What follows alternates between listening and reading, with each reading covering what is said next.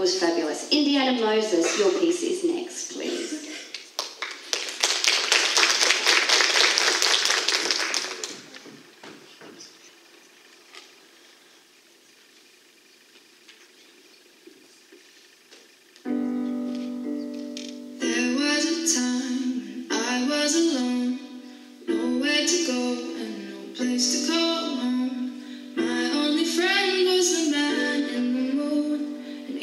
sometimes he would go away too. Then one night as I closed my eyes, I saw a shadow flying high. He came to me with the sweetest smile, told me he wanted to talk for a while. He said, Peter Pan, that's what they call me. I promise that I'll never be lonely. And ever since.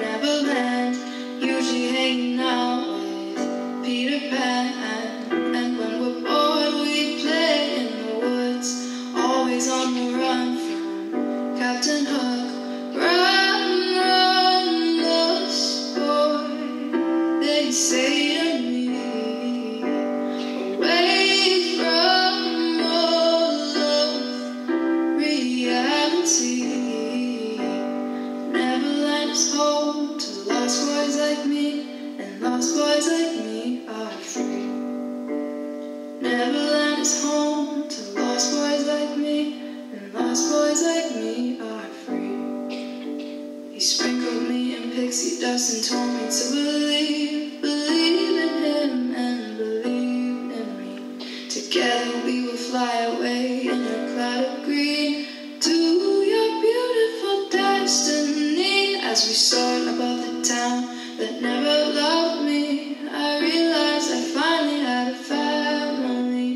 She